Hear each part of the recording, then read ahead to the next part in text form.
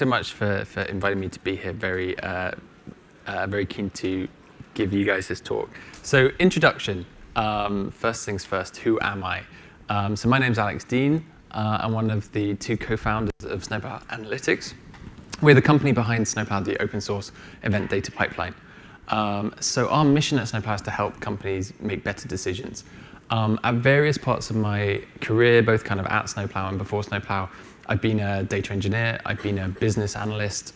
Um, I've never been a data scientist, so um, uh, I, I, I, take direction from all of you guys on, on, on the, uh, the art and science of data science.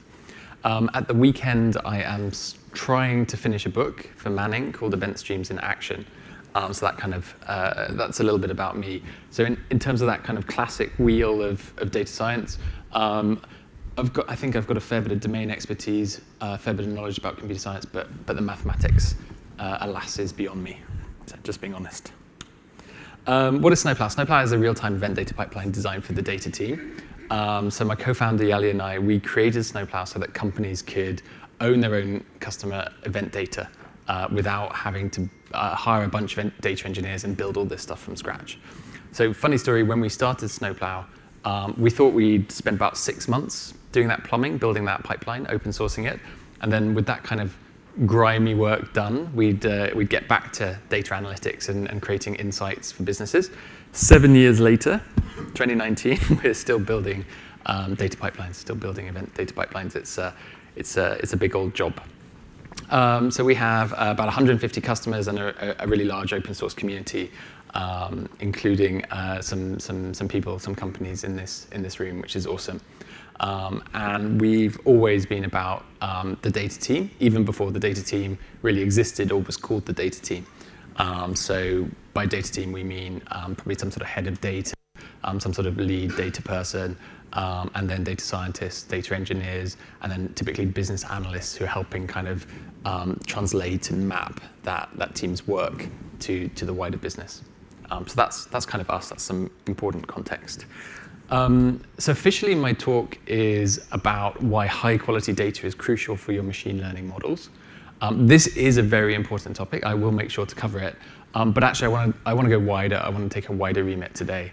Um, I can't tell you how to do data science. You can tell me how to do that in the next coffee break. But what I hope I can tell you, um, based on my experience at Snowplow, is what makes an effective data team. And of course, data scientists are a really important part of that, that data team. Um, and my focus will be on the data team inside companies because that's, that's kind of what I know, know best.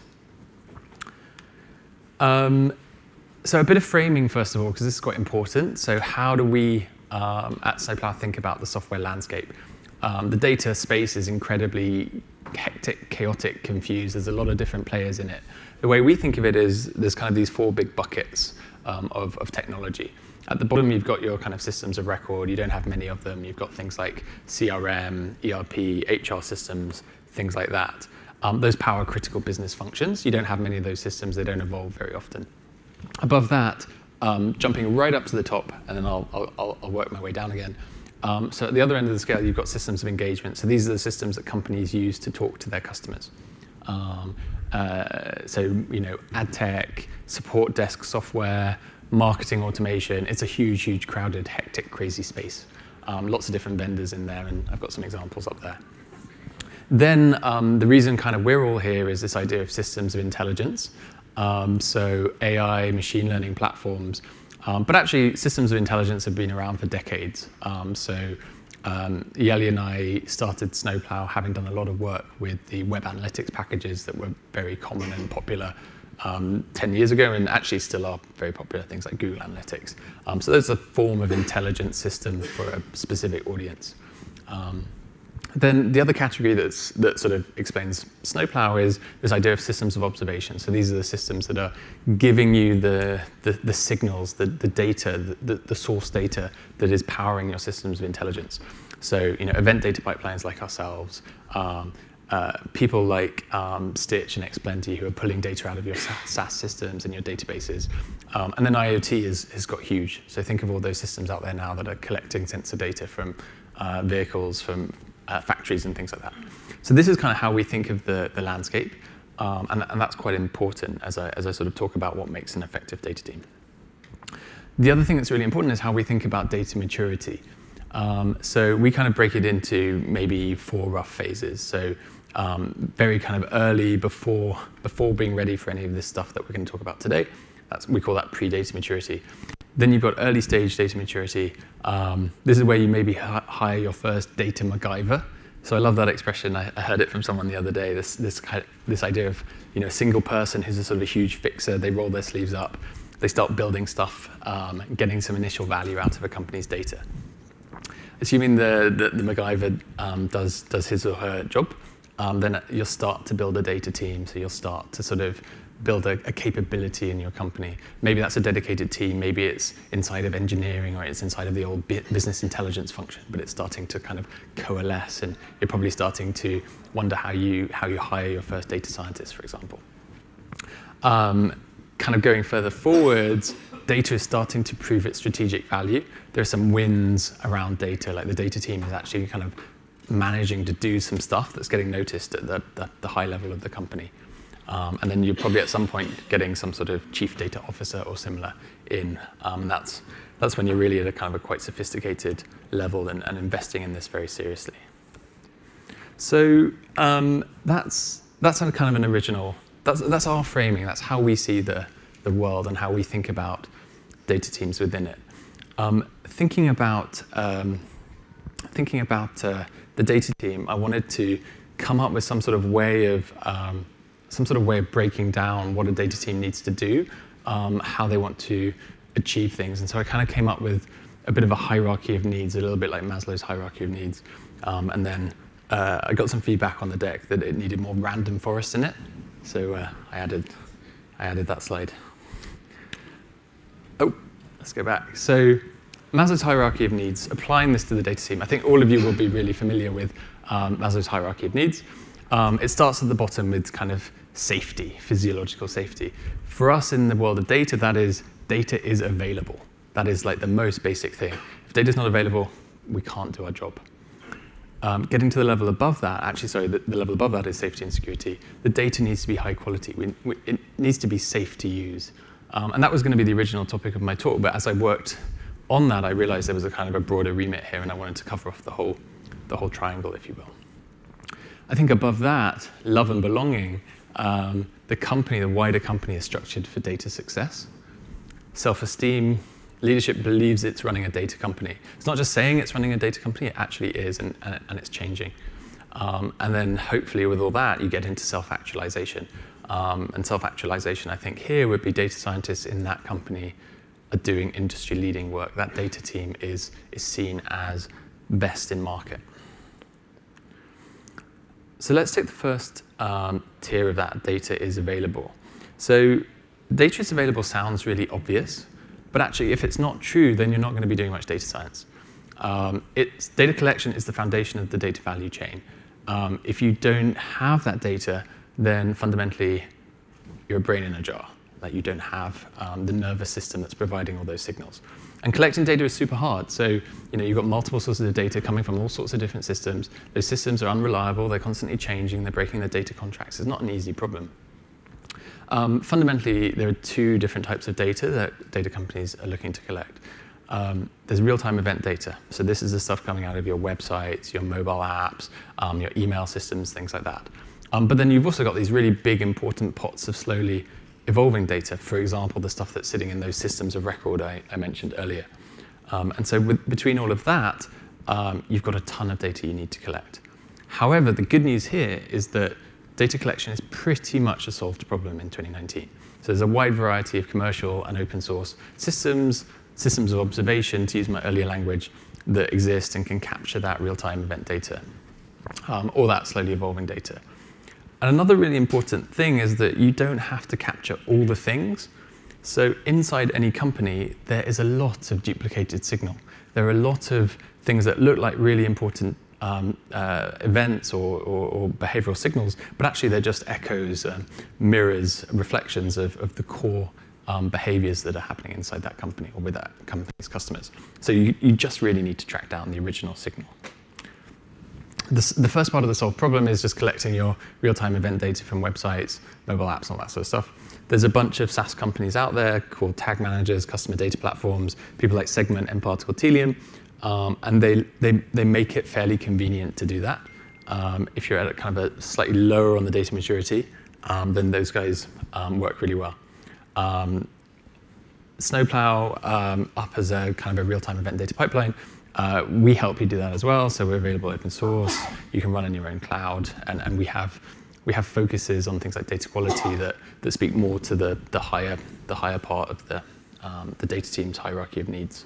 Um, but fundamentally, what I want you to take away from this is it's it's pretty much a solved problem here. Oh.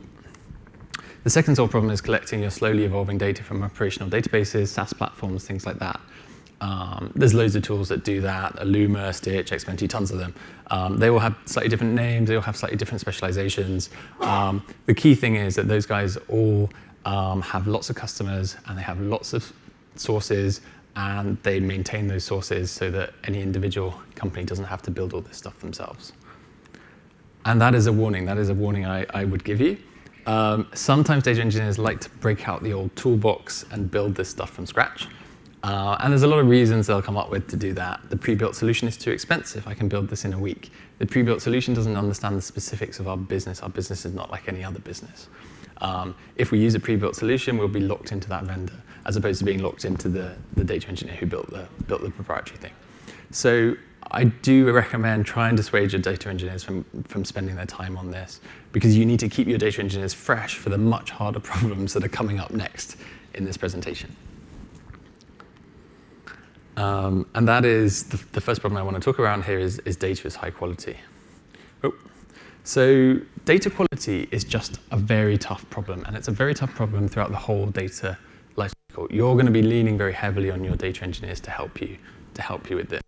Um, so when we think about the data lifecycle at Snowplow, we think about creating, collecting that data. We think about storing that we think about socializing it, activating it, and then in this uh, in the new world, which is much more much more privacy conscious than it was maybe five ten years ago, we're also looking at expiry, deletion, control of access, things like that. So that whole life cycle is not easy, um, and it's um, it's really important to work with your data engineers on that. Um, the problems are broader than just completeness and cleanliness. Um, so there's a few different problems I want to call out. Making sure the data is complete and correct. Data that isn't complete and correct destroys confidence faster than, than anything else. Um, you know, a, an output, a set of reports where the numbers don't match up to uh, someone else's numbers, that just is confidence destroying. So you need to really identify, report, recover data which doesn't comply to schema. You need to report on anomalies in the data to spot that things are going wrong as, as, as, you, as you work. And you really need a, a, a, single source of truth for, for all this data. You need to believe that, or you need to create a company where um, essentially everyone is working off the same data. It's not, it's not um, different siloed data pods. Um, making sure the data is semantically understood is really important as well. So um, it's really important to, it's sometimes called a unified semantic layer, but fundamentally what we're talking about here is some place for data meaning to live, some place for people to understand what data is available, where to get it, um, but also to understand the lineage. So what assumptions have gone into processing that data, modeling that data. Um, that's really, really important. And, and it's so easy for things to break down at this point um, because fundamentally it becomes a communication problem. Um, these days as well, compliance is really, really important. So, you know, um, companies are seeing data as increasingly a strategic asset, but it's also becoming a strategic liability. Um, so you've got to be thinking about, you know, are you using the data in a way that's consistent with the basis on which that data was collected from, for example, end users? That's pretty. That, that's some pretty gnarly stuff right there. Um, in a world of GDPR, we're seeing that like data subjects um, what they what they want is evolving, and like the expectation of, on which they've shared that data is is changing. Um, so there's a lot of thought that needs to go into that. Um, and equally, uh, you need it's not enough to just put these processes in place. You need to actually be able to demonstrate that you're compliant with these kinds of processes. So all of this kind of really brings us towards this idea that actually we've got to build a common language between the data team and the rest of the organization.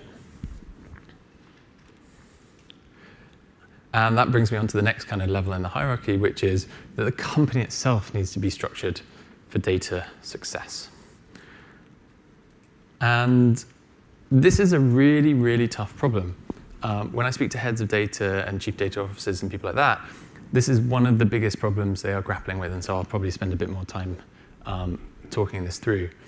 So at the middle of the slide, we've got the data team working on insights, working on data science, trying to, to, to get a handle on the data, understand what's going on, um, build and test models, and then make sure that that work has an impact on the wider business.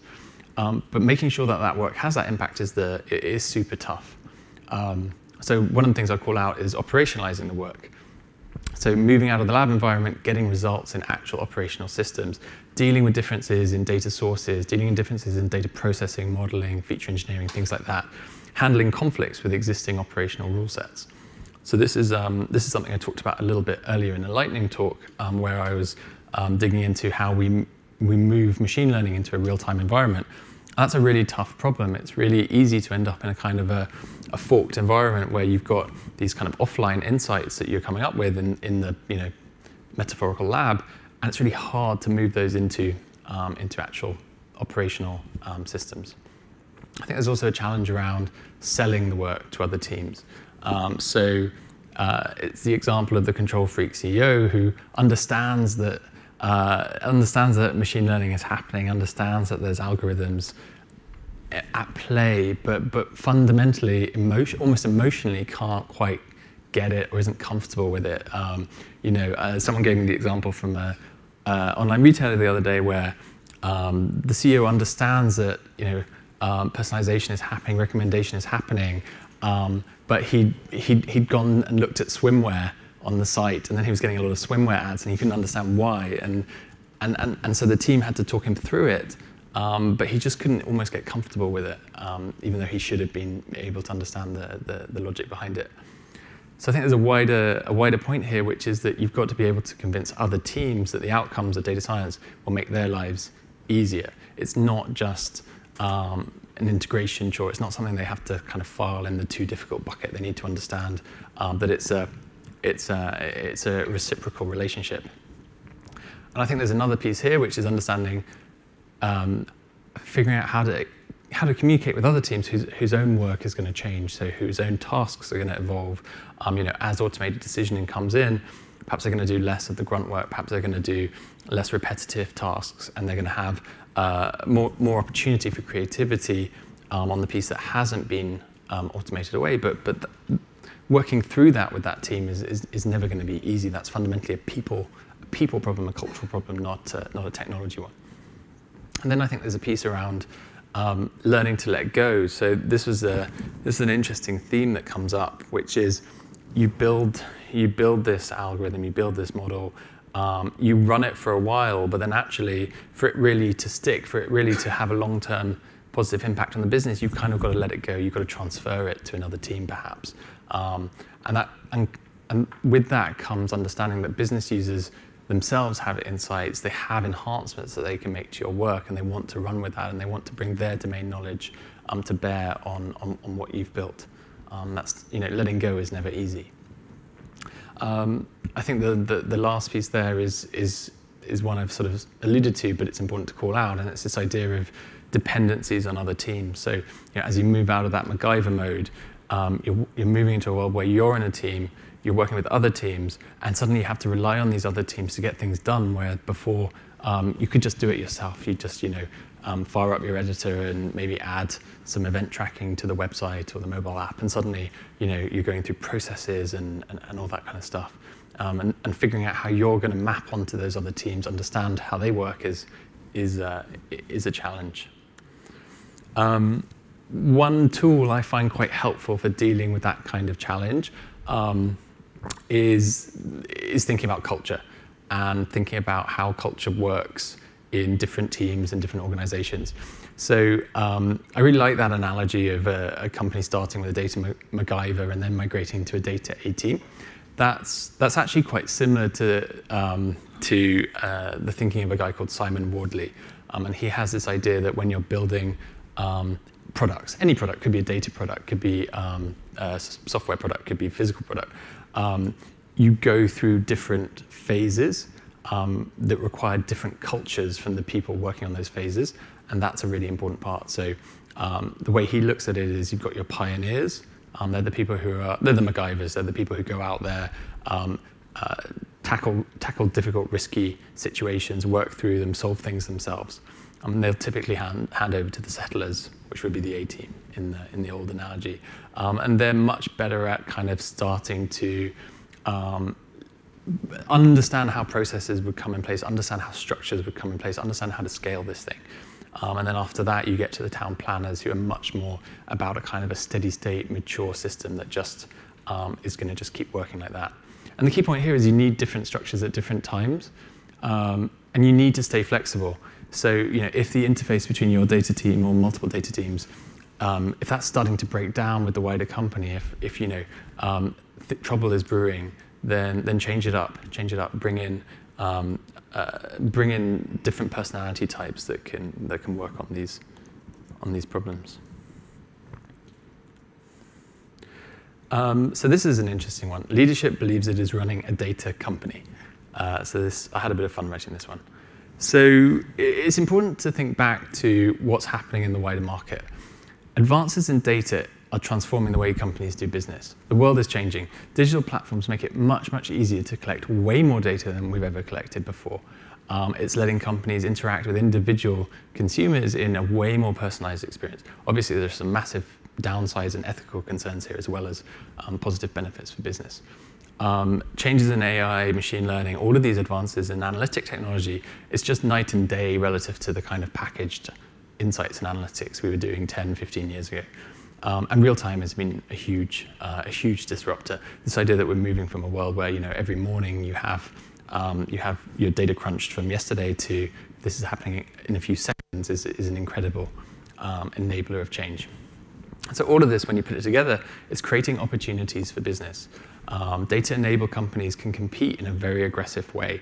Um, companies that are using data as, as a strategic asset they're very well placed to understand what's happening in their market. They're very well placed to understand how to improve.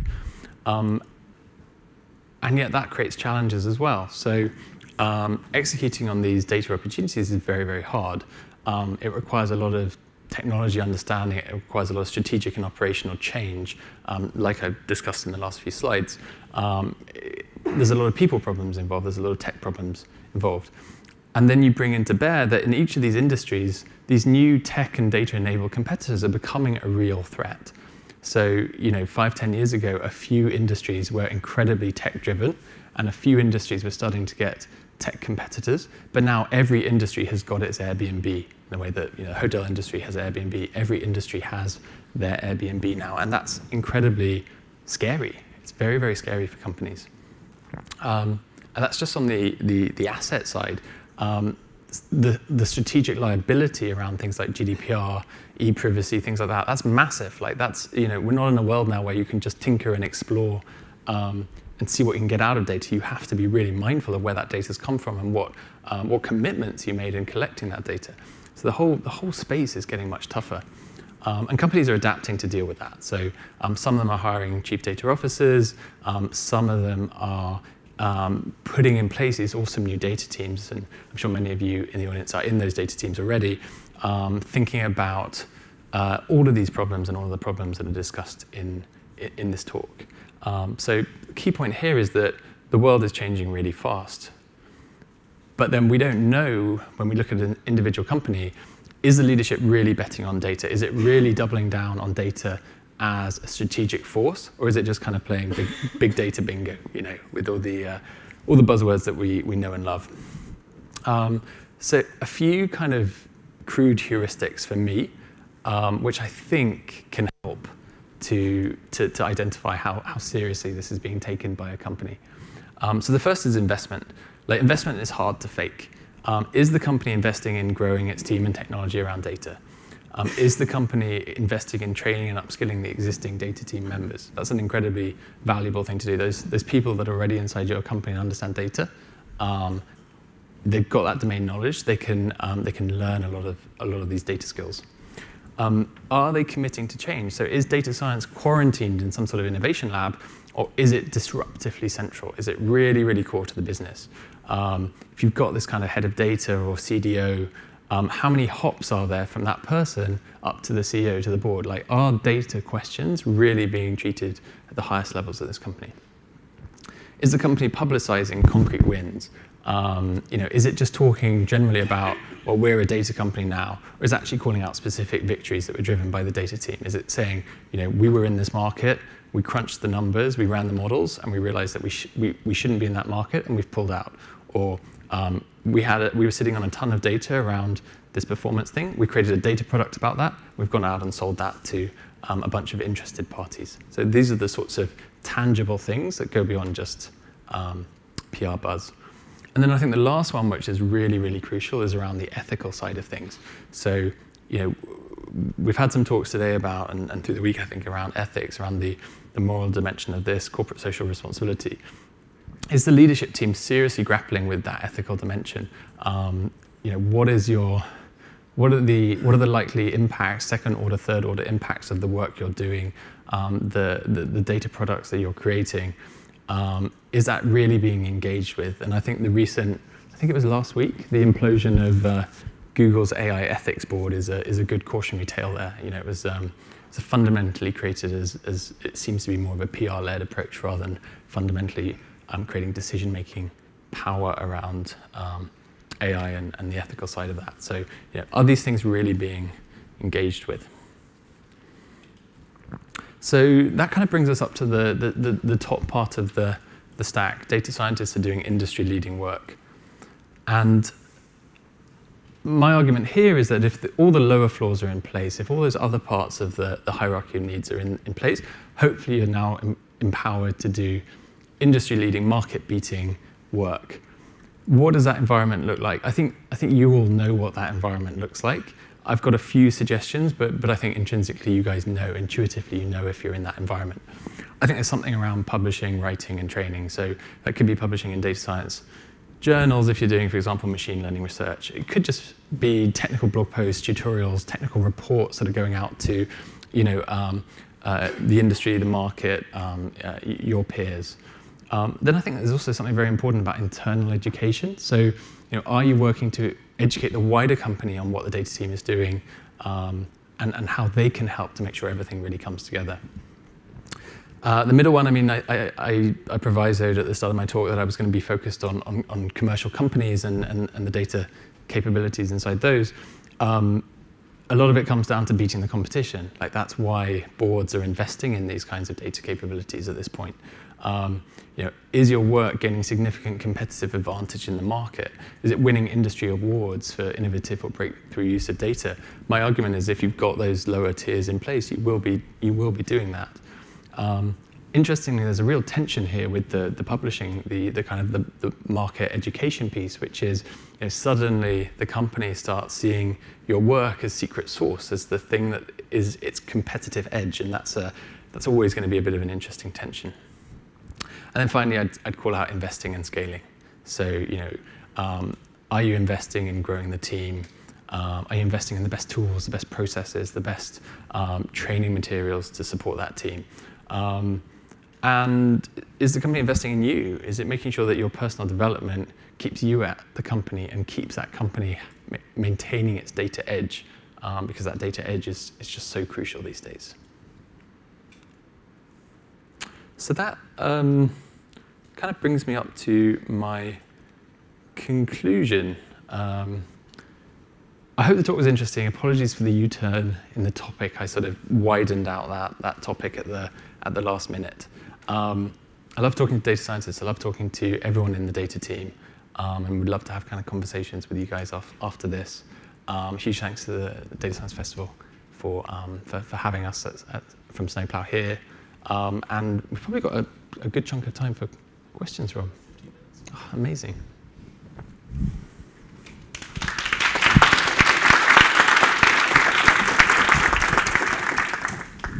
Any questions? Any questions? Oh, uh, sorry, you first, and then oh, you go for it. Um, hi, so I just wanted to go back to um, one of the points you were making about making the company sort of um, a sort of um, data um, structured. Um, when you have the data team as sort of a separate part of the organization, it's not like a core in the middle. How do you sort of transition that to try and make them more central and make people understand that that should be the sort of core of their knowledge without sort of enforcing it on them and saying you have to do this? I think that's a that's a really really good question. So um, it's it's a tough one. So we definitely um, first things first. We definitely see that companies are building that individual that that centralized data team a lot. So you know. Um, over, over the years, things often flip-flop between embedding kind of data capability in lots of other teams. So, you know, having data experts inside marketing or having them inside ops um, versus kind of centralization. And we see that centralization is happening at the moment. Um, and in the same way that probably about 10, mm, 10, to 20 years ago, there was centralization with a BI team. So there was a BI team that reported up to the CFO, and now there's a centralization again. I think that centralization is important because of that unification point. So it's the idea that you've got to have one team that's worrying about you know, getting that single view of all the signals that, that matter that, to that business. Then the, the challenge becomes exactly what you said. How does that how does that team kind of build build linkages out to the rest of the organization? The rest of the organization understands that they can go to that team and work really closely with that team to get what they need. Um, so I think marketing is a really good example of another team because marketing is, is on a real push over the last few years to become way more data centric. Um, so how does a how does a marketing team that's desperately trying to get more data uh, savvy, how's that, how, how do they work with the data team that's sort of building that and understanding that?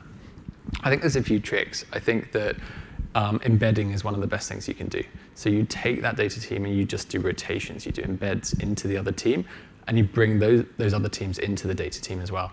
Obviously, you're going to have challenges there, a bit with like common language and skill sets and things. Um, but I think that's one of the best techniques, and we, we use that in, in Snowplow and other parts of the business, and we use it with our data capability as well. So our people who spend time working on our company data go out to other teams and work with them and train up those other teams on working with data. But it's not an easy, it's not an easy problem. Um, it's a really good question.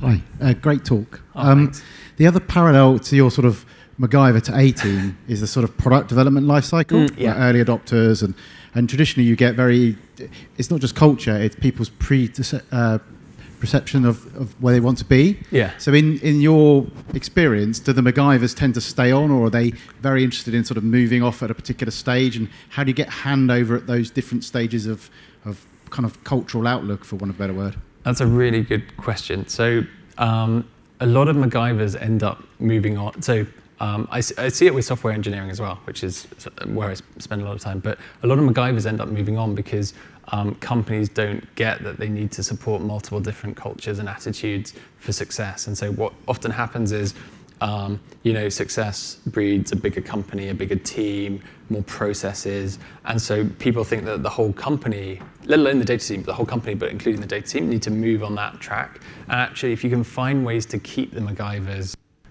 happy and engaged and, and make sure they still have the agency, um, and that's tough, right? Because you, you, they're still having to follow a lot more process and deal with these other big teams now. Um, but if you can find a way of keeping them and keeping them motivated, you're in a much more powerful space because you can be sure that there's some you know, younger, hungrier competitor that only has MacGyvers. And, and, and when your MacGyvers leave, that's where they're going to go. And suddenly you've got a, a very powerful, well armed data competitor. Great question. Any other questions? Colm.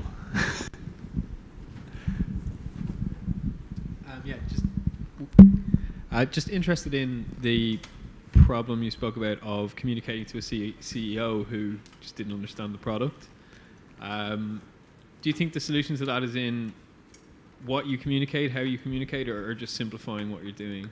That's a really that's a good question. How do you communicate to that um, that's like the old school CEO? So I was I was chatting to a, a, a guy uh, uh, I was chatting to Bertel outside, and he was telling me how in a lot of um, I think in Facebook, like all the all the staff are kind of auto excluded from the A/B tests, and in a lot of game studios, like the spouse of the CEO will be like excluded from all the personalization stuff. So there's just there's a lot of kind of drastic measures being taken to try and avoid this problem and make sure that um, difficult conversations aren't being had with, with people who are maybe very senior but not um, not fully um, fully on board and understanding the, the tech.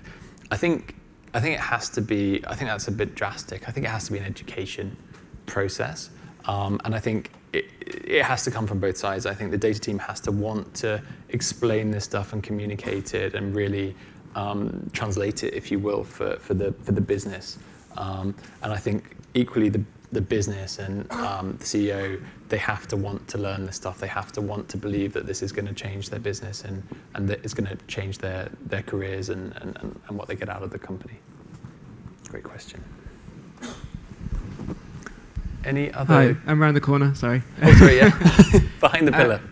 Your last point there on um, fitting into the agile Scrum um, sort of workflow. Have you got any uh, extra perspectives on that for sort of data people trying to work in that kind of quicker turnaround where maybe the projects would naturally be longer in the data science? Yeah, it's a it's a good question and it's a hard it's a hard problem. So we um, at Snowplow we see it quite a lot around um, uh, uh, tracker instrumentation. So what I mean is. Um, when the data team is working with, for example, the mobile program, uh, mobile developers to get um, tracking into the apps to, to emit all the different, um, you know, important signals that are coming out of the app.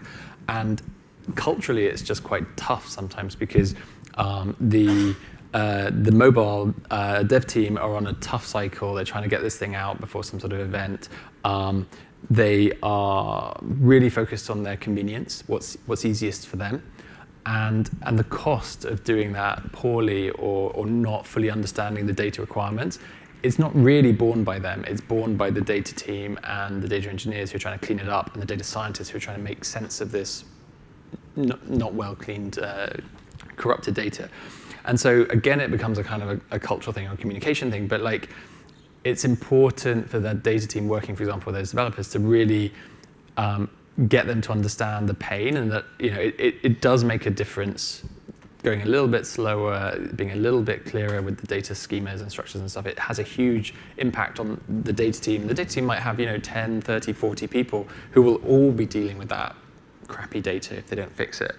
One one trick i've i've heard that does work quite well is is getting that return loop going that return path. So um, you, you say to the the mobile uh, developers, for example, this isn't just going into a black box. We're making decisions out of this data, and that's going to drive um, maybe offline. It's going to drive your product roadmap, so it's going to drive what you build next, or maybe even more excitingly, it's going to literally drive you know features and um, active personalization or flagging of things on or off in the actual app. So if you can get that kind of return loop going. Um, that's that's sort of the holy grail because then they will they'll literally get why they're doing what they're doing. That's a great question. Cool. Maybe that's a wrap. Yeah. Uh, thank you very much, Alex. Thanks, guys.